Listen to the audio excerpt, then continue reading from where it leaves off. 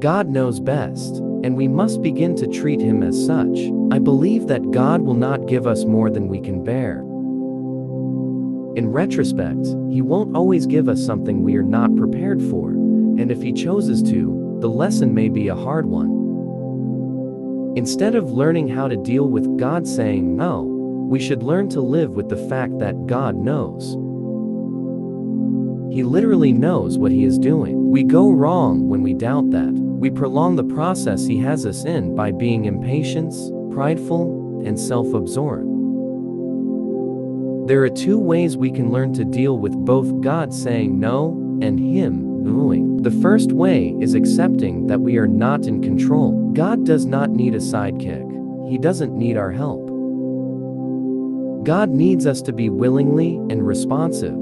The second way is minimizing worry. Learning not to worry is a journey that starts with living and applying scripture, like Romans 8, verse 28 and John 10, verse 10, to our life. The commonality in these ways are us giving up our idealization of how life should go. Once we get to a point where we really believe that God wants what is best for us, life should become more simplistic.